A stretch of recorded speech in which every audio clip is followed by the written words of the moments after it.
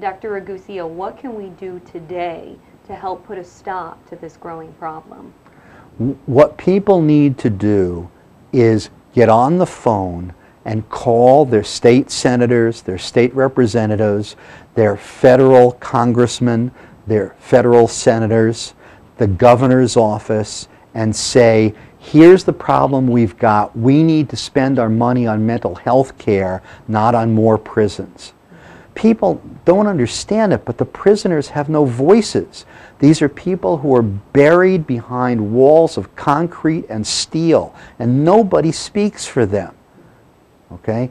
And, and if you want to be part of the solution, that's the smartest thing you can do. Because when legislators get five phone calls or 10 letters, okay, that's more than they get on any subject in a week typically. If they get a hundred, it's an avalanche, and they know they'd better address something.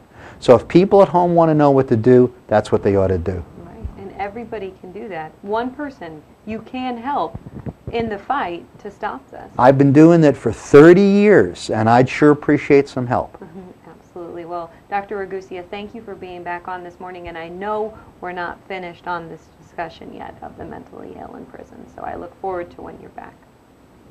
All right, everybody, thank you for tuning in and joining me today. You can catch me right back here tomorrow morning at 7 a.m. and then again at 8.30 a.m. Take care and have a great rest of your day.